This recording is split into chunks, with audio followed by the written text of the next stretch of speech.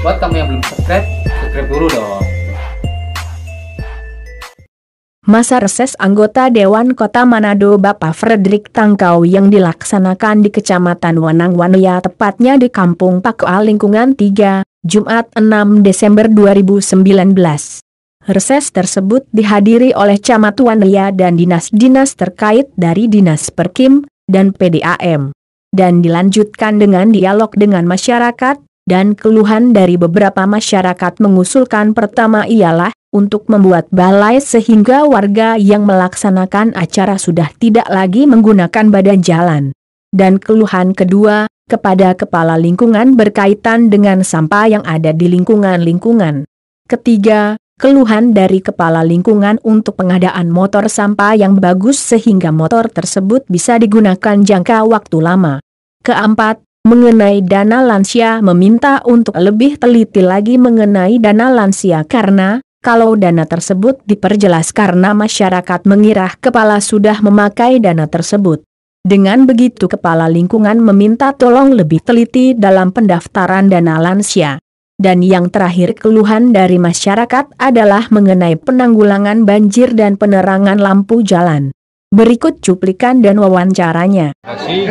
Tentunya pertama saya mengucapkan puji syukur karena saya boleh diberikan kepercayaan sebagai dewan dan baru pertama kali ini untuk melaksanakan reses reses yang kedua di tahun 2016 dan tentunya dari apa yang sudah dilaksanakan reses banyak masukan-masukan dari masyarakat keluhan-keluhan yang pertama tentunya menyangkut uh, sampah tentunya di ini merupakan masalah di masyarakat apakah itu menyangkut uh, pembuangan sampahnya dengan motor sampah yang ternyata banyak rusak kemudian tidak ada pemeliharaan sehingga banyak yang tidak terangkut sampah kemudian juga uh, masalah pemilihan sampah bahkan juga iuran sampah yang muncul tadi pertanyaan-pertanyaan dan kemudian juga selain masalah lingkungan hidup sampah juga terkait dengan penerangan lampu yang sangat dibutuhkan oleh masyarakat dan juga banyak diusulkan untuk menyangkut penerang lampu karena penerang lampu juga sangat bermanfaat untuk uh, masyarakat khususnya di malam hari dari segi keamanan tentunya.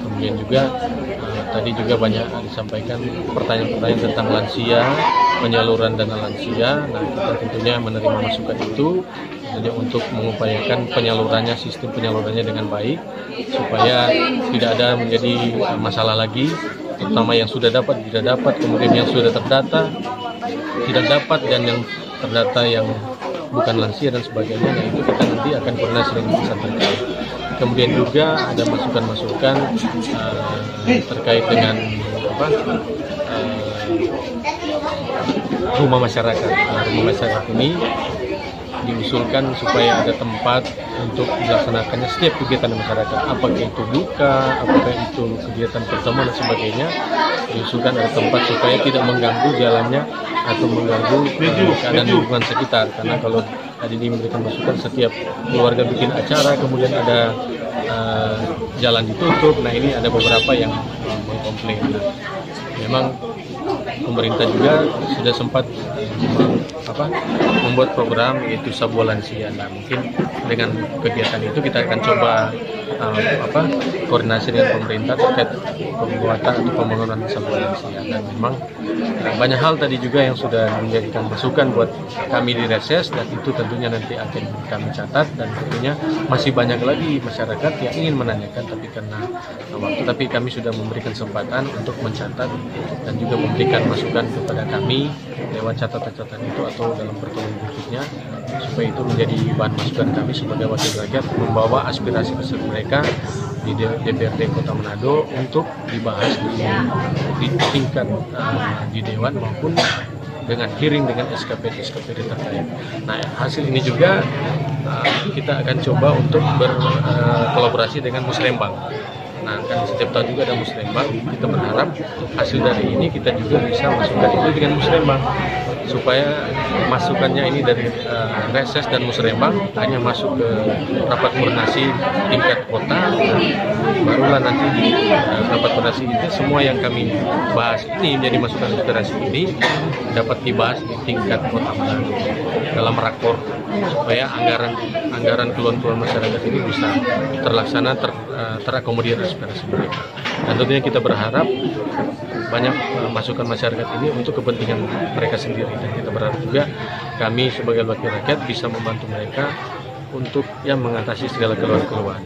Ya, banyak banyak hal dalam segala bidang dalam segala aspek yang ada di rumah di depan rumah dan lingkungan tadi ada juga ada sempat uh, menyangkut jalan yang belum sempat selesai. Nah itu kami sudah berkoordinasi dengan pihak terkait. Untuk secepatnya menutup lubang-lubang jalan yang kemarin dilaksanakan tapi belum selesai. Tapi memang itu dana dana pembuatan jalan di jalan di Papua di, di luar saya kira mungkin demikian dari hasil reses kami. Ya tentunya berharap uh, lebih banyak lagi masukan-masukan supaya masyarakat kepentingan masyarakat terpenuhi Chandra Sulut Headline News melaporkan dari Manado.